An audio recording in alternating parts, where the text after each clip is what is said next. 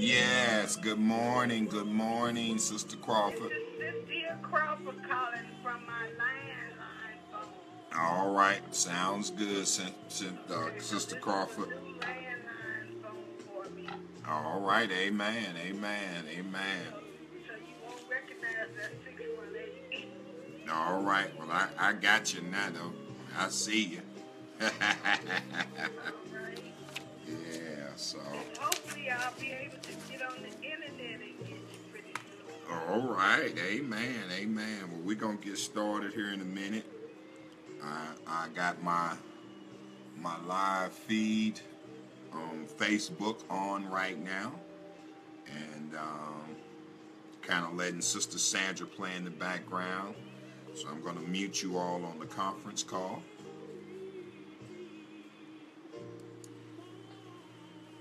Hallelujah.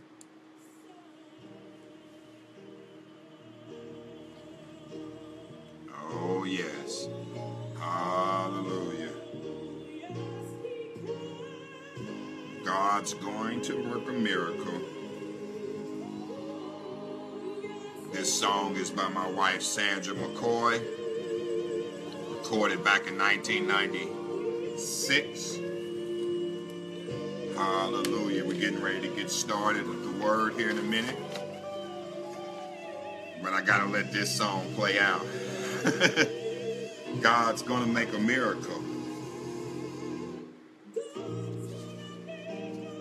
Hallelujah. Hallelujah. Yeah.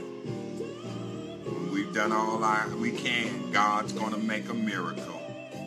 Yes. I see you on, uh, Brother Perry Jones.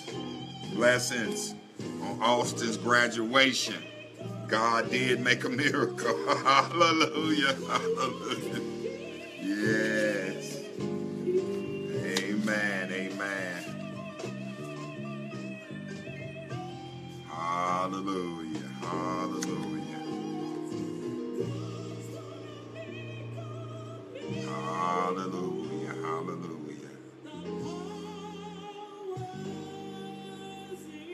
Power's in his hands.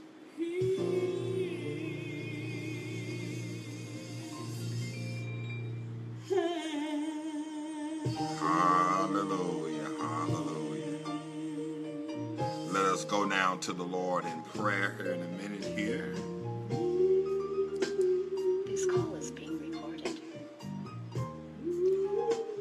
Welcome everyone to the Guiding Light Ministry International Prayer and Bible Study Conference call. This is your Sunday School Lesson Edition, and I am your host, Pastor Mark McCoy of New Harvest E Church in Harvest, Alabama. We are simulcasting live on Facebook and also on the conference call. After we get through with the, the broadcast here live on Facebook, we go into an overtime period on the conference call where we ask questions, encourage one another, and just do a fellowship and exchange of the word that is being laid out this morning. Amen. So if you want to call back later, and I'll mention this again, um, the call number for the conference call is 910 218 0531. Amen and amen. All right, let us go to the Lord in prayer. Dear Lord, we thank you and we praise you for all that you are, all that you do, and just being God and being God all by yourself. We lift you up this morning and we plead the blood of Jesus, your darling Son, our Savior and Lord. We plead his blood over this entire conference and this Facebook Live, all of this technology, Lord. We plead the blood of Jesus over every household represented here, every family, every ministry, every community, dear Heavenly Father. We plead the blood of Jesus right now, dear Heavenly Father, over this entire world, knowing that there is power, power, wonder working power in the precious blood of the Lamb Jesus. Thank you, God. Jesus, we you we just say thank you because you're worthy to be praised. And we give you all the glory and all of the power, all of the honor because you are worthy, God. You're worthy, Lord Jesus. Thank you. We ask you now to Be true to your word. Where two or three are gathered in your name, you said you would be in the midst. Bless this this recording, God, because we know that it's going to go around the world when it's shared on Facebook and on YouTube, God. So bless those that are going to listen, that they might be encouraged. Bless those that are listening now, that they might be encouraged. Bless all that we might be encouraged, strengthened. And then, Lord, if there's someone that don't know you in the pardon of their sins, they don't know you as Lord and Savior, and they listen to this. Move on them by the power of your Holy Spirit right now, God, that they might receive your salvation. We thank you and we praise you, for it is in Jesus' name we pray. Amen and amen. I am trying to set myself with the goal um, these these next few weeks, and I'm trying to see if I can build a pattern on this that I can uh, deliver these messages in about a 30 minute period, and then we can go into the discussion time on on the conference call in overtime after the lecture portion has been given. Our lesson for today comes from Luke chapter 1, Luke chapter 1, starting at verse 39, going all the way down to verse 56. Luke chapter 1, starting at verse 39, going all the way down to verse 56. The title of today's lesson is Full of Praise for the Promise. Oh, I'm going to get at it, say that again. Full of praise.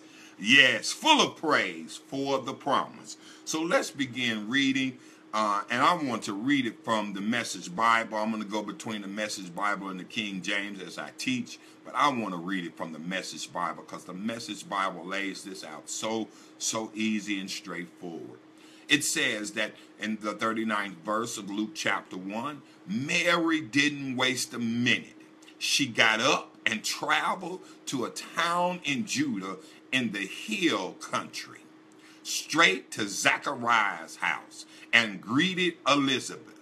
When Elizabeth heard Mary's greeting, the baby in her womb leaped. She was filled with the Holy Spirit and sang out exuberantly, You're so blessed among women. The baby in your womb also blessed. And and Mary, and Mary says, and, and Elizabeth says, and why am I so blessed that the mother, why am I so blessed that the mother of my Lord visits me? The moment the sound of your greeting entered my ear, the baby in my womb skipped or leaped like a lamb for sheer joy. Bless woman who believe what God says, believe every word would come true. And Mary said, I'm bursting with good news.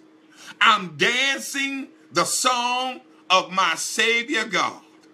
God took one good look at me, and look what happened. I'm the most fortunate woman on earth. What God has done for me will never be forgotten. The, the God whose very name is holy, set apart from all others, his mercy flows in waves after waves on those who are in awe before him. He bares his arm and shows his strength, scattering the buffeting braggarts. He knocks tyrants off of their horse, their high horse, pulls victims out of the mud. The starving poor sat down to a banquet. The callous rich were left out in the cold. He embraces his chosen child, Israel. He remembered and piled on the mercy, piled them on high. It's exactly what he promised, beginning with Abraham and right up to now.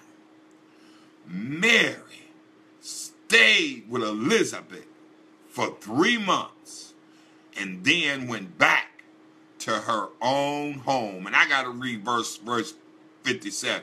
And when Mary was full, I mean when Elizabeth was full term in her pregnancy, she bore a son. And we're going to stop right there. So I said, the title of this lesson this morning is Full of Praise for the Promise. Full of praise for the promise. Yes, yes, yes. Mary was full of praise because if you remember from last week, she received a visit from Gabriel the angel. And Gabriel came and delivered a message to her that she was blessed and highly favored, and that she was getting ready to be overflowed by the Holy Spirit and overcome by the Holy Spirit and overshadowed by the Holy Spirit, and she would be impregnated with the Messiah, the, the one that the angel told her to call him Jesus, the anointed one, the Savior of the world. And she, she, oh, hallelujah. She, like, what, what is this? Why you telling me this? This can't be. And the angel had to let her know nothing, nothing, nothing, nothing, nothing, nothing is impossible for God. Nothing. God can do this thing. And so, with that being said, he says, Now I want you to understand something. God is confirming and affirming that which I'm telling you. Because your cousin, Elizabeth, who was barren for all of these years in her old age, she is now six months pregnant. And so that's where we pick up our text now. After the angel had given Mary this message, Mary said to the angel, Be it unto me as you have said. And we talked about it on last week. We have to have that attitude when God does the impossible in our lives. When God shows us something that is about to happen, when He gives us a promise, and we don't know how this promise is going to come to pass, we need to have trust. We need to have assurance in Him. We need to have belief in Him that whatever He said, whatever He said, be it unto us. Oh, I'm talking to somebody right now. God has told you some things. God has shown you some things. God has shared with you some things. And, and He is telling you that nothing is impossible for God. Whatever He wants to do with you, all you have to say is, Be it unto me, Lord, as you have said. Oh, hallelujah.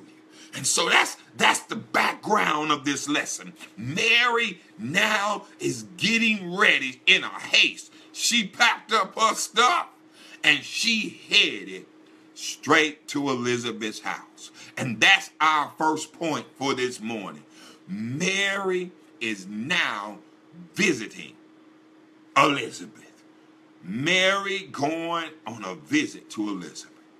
And so the text says, when she got to Elizabeth's house. The, this is what the text says, verse 39.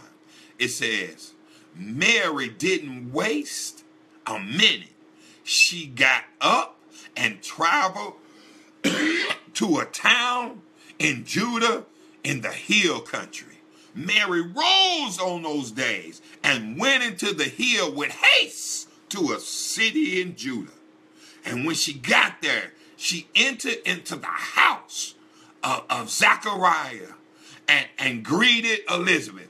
Zachariah is, is Elizabeth's husband. Zachariah is, is one of the priests at this time. And later, he actually became the high priest. But he was just a, a, a anointed priest, and, it, and, and he was married to Elizabeth. And the scripture says in verse 41 as Mary visited him.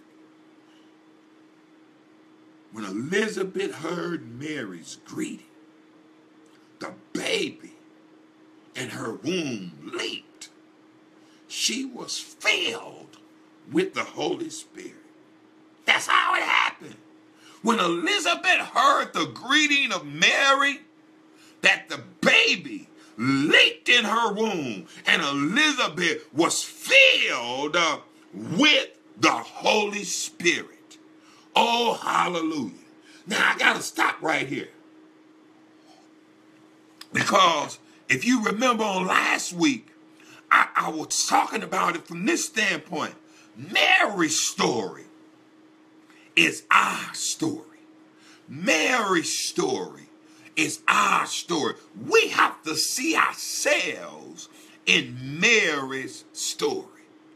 I don't know about you. When, when great things happen to me, I have to call people. I have to tell people how good God has been to me. I have to share with them what God has done with me and what God is doing in me and God is doing for me and through me and all of that stuff because I'm excited. I want to celebrate it. I'm full of praise. I'm full of joy for what the Lord is doing in my life. and so I found this thing out. I found this thing out. It's some folks you don't need to call. yeah, yeah, yeah, I'm going there. Because some folks you call and you tell them the good news of what God has done for you, and they be like, uh huh, well, whatever.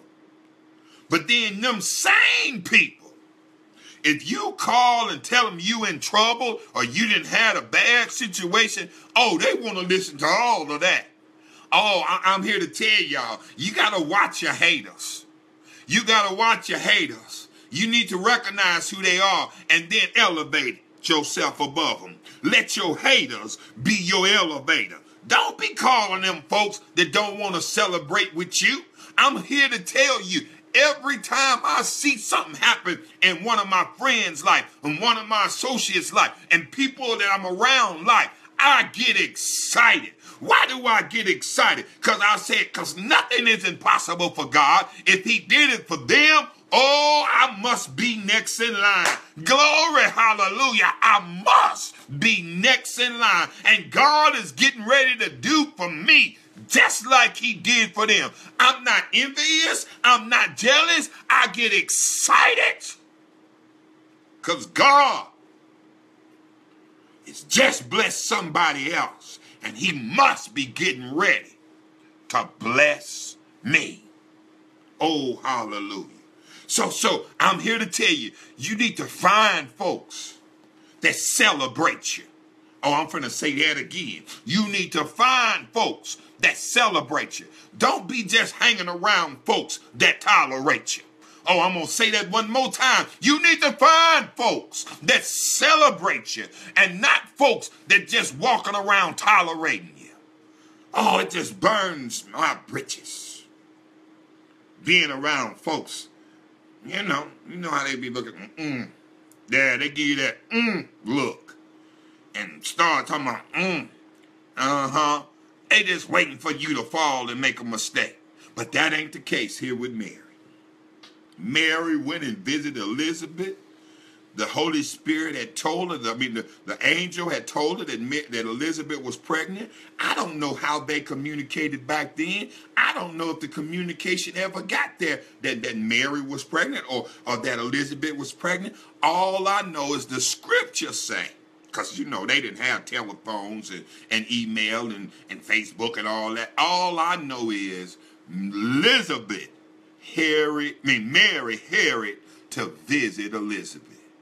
And when she got there, that baby, the baby jumped. The baby leaped in the womb of Elizabeth. Now you need to understand who the baby is. The baby is John the Baptist. Elizabeth and Zachariah are the mother and father of John the Baptist, the forerunner. And this was Jesus' cousin that would later be the one crying in the wilderness, telling everybody, you must repent. Because the kingdom of God is at hand. He was the preparer. He was the one that was telling them about the way. And now, even in the womb, this baby leaps for joy because the baby realized that he, even in the womb, was in the presence of the anointed one, the Messiah, the Lord and Savior.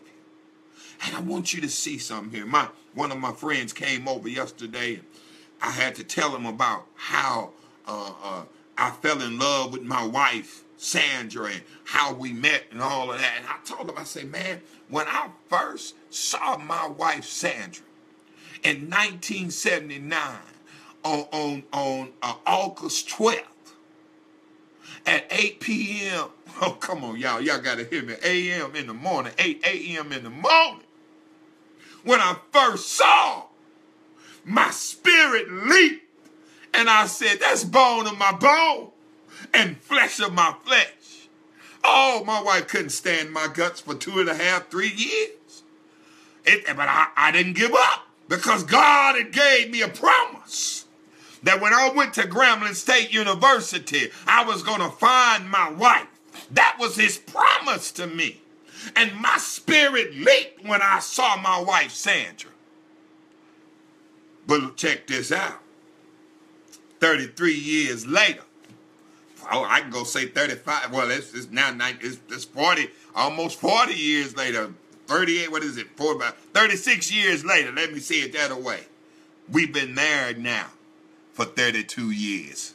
Glory, hallelujah. You got to give God some praise. You got to be full of praise. When he when he tells you what he going to do for you, you got to give him praise and have an attitude of praise when he tells you what he promised you. Oh, hallelujah. Even before it comes to pass. And then you got to pursue your promise. Don't let nothing and nobody turn you around. Oh, hallelujah. Um, I know I just went somewhere on somebody because see many people hear the promises of God and they say, "Oh, well, that that's just a bunch of hoping and a wishing and and a praying and all of that." No, when God promises you something, it's for sure. And your job is to trust and believe in him and pursue that promise with persistence. Don't give up. Don't let nobody turn you around. Oh, yeah, you're going to get attacked. Yes, weapons will be formed against you, but no weapon formed against you will prosper. Oh, hallelujah. Because the promises of God are sure and very sure. Oh, let me go on the text says. So when, when, when Elizabeth heard Mary's greeting, the baby in her womb leaped and she was filled with the Holy Spirit and began to sing. She began to sing. She began to give God praise. She said, You're so blessed among women, and the baby in your womb is also blessed. Blessed are you among women. Blessed is the fruit of your womb. Oh, she starts celebrating. Blessed are you among women. Blessed are you and the fruit in your womb. And then she asked the question after she gave up all of this praise. Why? Am I so blessed that the mother of my Lord would visit me? Why is this granted to me that the mother of my Lord should come to me? Oh, hallelujah. Hallelujah.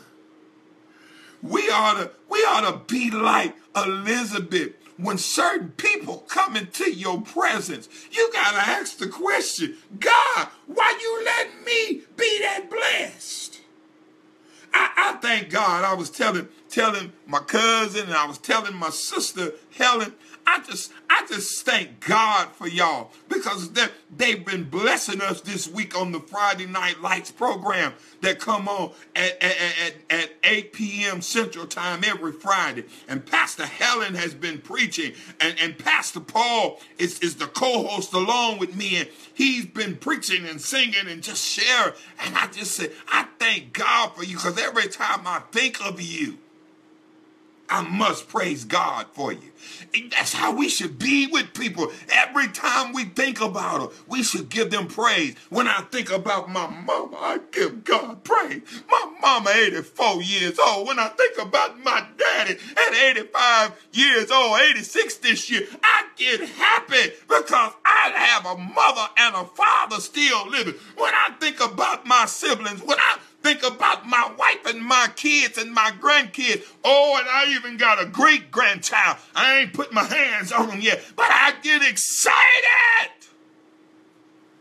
I get excited that God would even bless me with these blessed people in my life.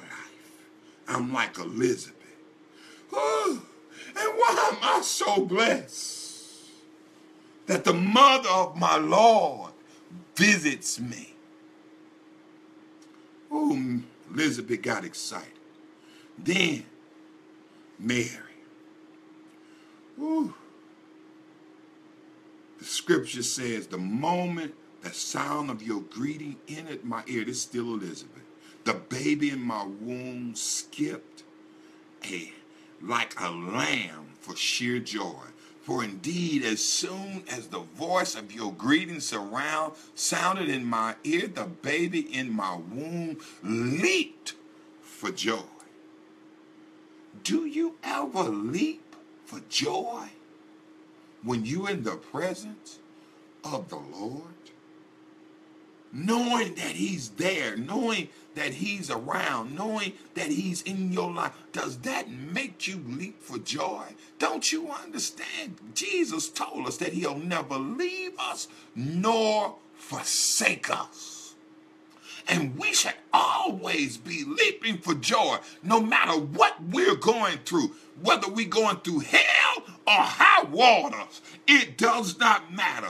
Jesus is there. Oh, you want me to bring out a testimony? Oh, I hear somebody talking to me. I hear three men. I think their name is Shadrach, Meshach, and Abednego. What y'all saying to me, Shadrach, Meshach, and Abednego? Well, we were in the fiery furnace. While we were up in the fiery furnace, Nebuchadnezzar had put the fire seven times higher than it had ever been. But while we were in that furnace, Nebuchadnezzar looked in couldn't understand why we hadn't burned up. And he saw. He said, I put three but there's a fourth man in there. And he looks like the Son of God. Oh, you got to hear me today.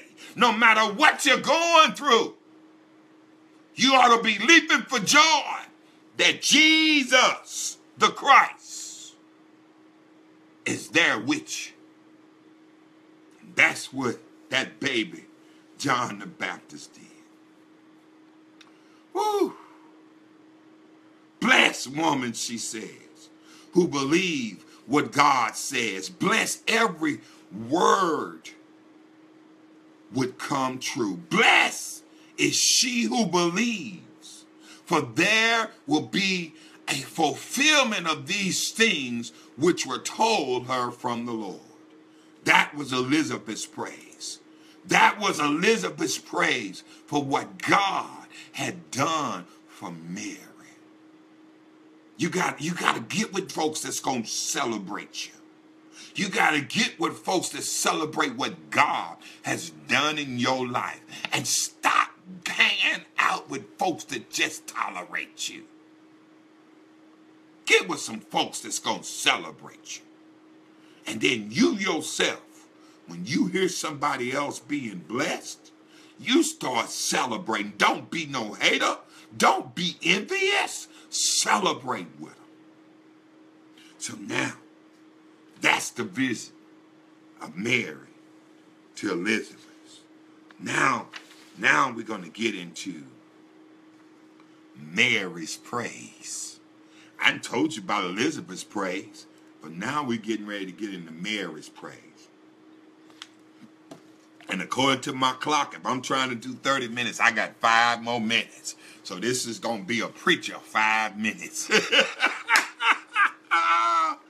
Hallelujah. Look at, look at, look at verse 46. And Mary said, My soul magnifies the Lord, and my spirit has rejoiced in God, my Savior. For he has regarded the lowly state of his maidservant. For behold, henceforth all generations will call me blessed.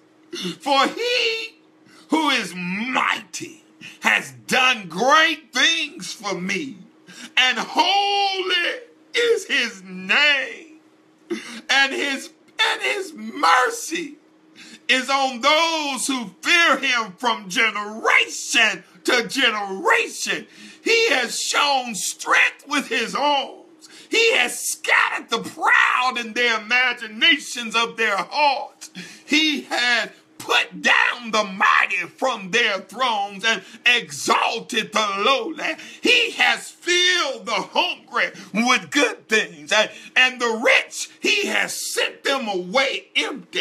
He has helped his servant Israel in remembrance of his mercy. He has spoken to our father, to Abraham and his seed forever. Mary and Mary, he said remained there three months and returned to her house. And now Elizabeth was full term and came for her to be delivered, and she brought forth a son. Mary, Mary, Mary, you ain't weeping now. This is the beginning. Oh, we know you're going to weep later. But right now, Mary is giving God all of the praise. All of the praise. All of the glory. All of the honor. Mary burst into praise because of the good news. She danced the song for, of her Savior. I don't know about you. When God gives us good news, we ought to burst into praise and have a dance. We should be dancing like Mary dancing. We should be dancing. So we dance so hard that we dance like like like David danced and dance on out of our clothes. Uh, when God, oh hallelujah, when God has given us a promise and He's affirmed that promise and confirm that promise. We ought to shout with praise, even before the promise is fully manifested. Can you praise Him in advance? Can you praise Him because He just told you what's going to happen? Can you praise Him when you start asking him for something and you say, God, I just praise you because I know it's already done. Because your word tell me whatever I have stand in the need of, you will give it to me. Whatever I ask in your name, you will provide for me. Your word tells me that you will supply all of my needs according to your riches and glory. So when God, when you tell me something, whether you tell me through your word, whether you tell me through a message preached by a preacher, a pastor, a teacher, whether you tell me something from a prophet, I'm going to give you praise. Because, glory to God, it's going to come to pass for sure. So I might as well praise you in advance. Oh, we talk about this this way.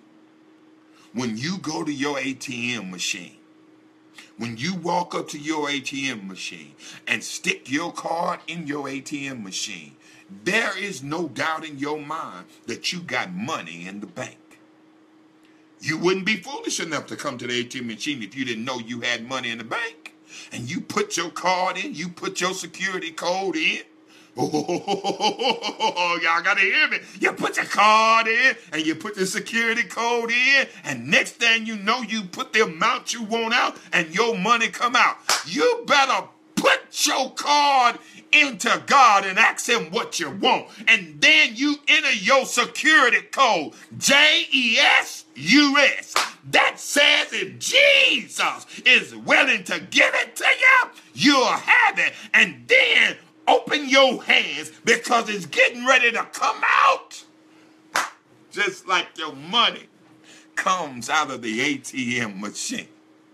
And Mary was giving God praise because that which he had promised, that she was going to be the mother of our Lord and Savior Jesus Christ has now been confirmed by her cousin Elizabeth's pregnancy and her cousin's Elizabeth's praise.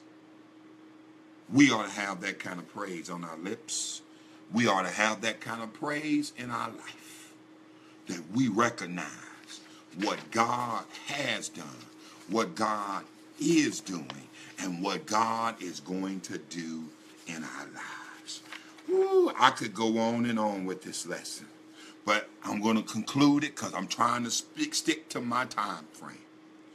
If you want to hear more about this lesson, you can log on and call in on your telephone when we go into the overtime period at two at 910-218-0531. But I'm getting ready to conclude this message. This message teaches us that the that God's promises are sure there's no doubt that his promises will happen because we can be sure of God's promise. We should always obey and always trust what God has said. Let's be full of praise because his promises are sure. Let us pray. Dear Father in heaven, we praise you and rejoice in all that you have done for us. Help us to always trust in you and your word and to believe in your promise. In Jesus' name, amen. Final thought God always, and I'm saying always, God always uses people we might not expect in ways we can't even imagine. Let's go now again to the Lord in prayer for the prayer of salvation. Let us pray. Dear Father God, we come confessing with our mouth and believing in our heart that Jesus died for our sins and that you raised him from the dead. We ask you, Lord, to forgive us of our sins Please, Lord Jesus, come into our heart and be our Lord and Savior. Then send your Holy Spirit to help us to do your will for the rest of our lives. Sign, seal, and deliver us. In Jesus' name, we pray. Amen. For those of you on Facebook, this is the end of the lesson. I hope this word bless you today. Now, if you want to come on overtime with us and do some discussion, the number is 910-218-0531. Be blessed on Facebook. Bye-bye.